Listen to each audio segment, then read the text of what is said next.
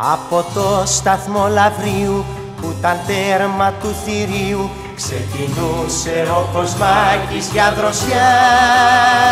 Σαν και τσούφα γκομαχώντας θα είχε στάσει περπατώντας πιο νωρίς από το θεριό στην Κηφισιά Σαν και τσούφα γκομαχώντας θα είχε στάσει περπατώντας πιο νωρίς από το θεριό στην Κηφισιά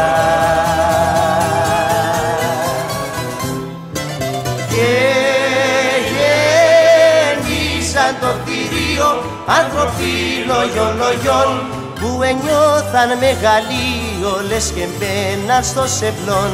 Που ενιώθαν μεγαλείο λες και μπαίναν στο σεμπλόν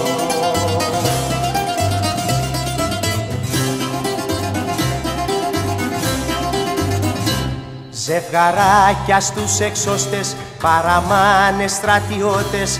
Ήταν φύσκα του λαβρίου ο σταθμός. Και μια νύχτα το θηρίο είπε το στερνό του αντίο και φωνιάς του ο σκληρός πολιτισμός. Και μια νύχτα το θηρίο είπε το στερνό του αντίο και φωνιάς του ο σκληρός πολιτισμός. Και το θηρίο άνθρωποι λογιών λογιών που ενιώθαν μεγαλείο λες και μπαίναν στο σεμπλόν. Που ενιώθαν μεγαλείο λες και μπαίναν στο σεμπλόν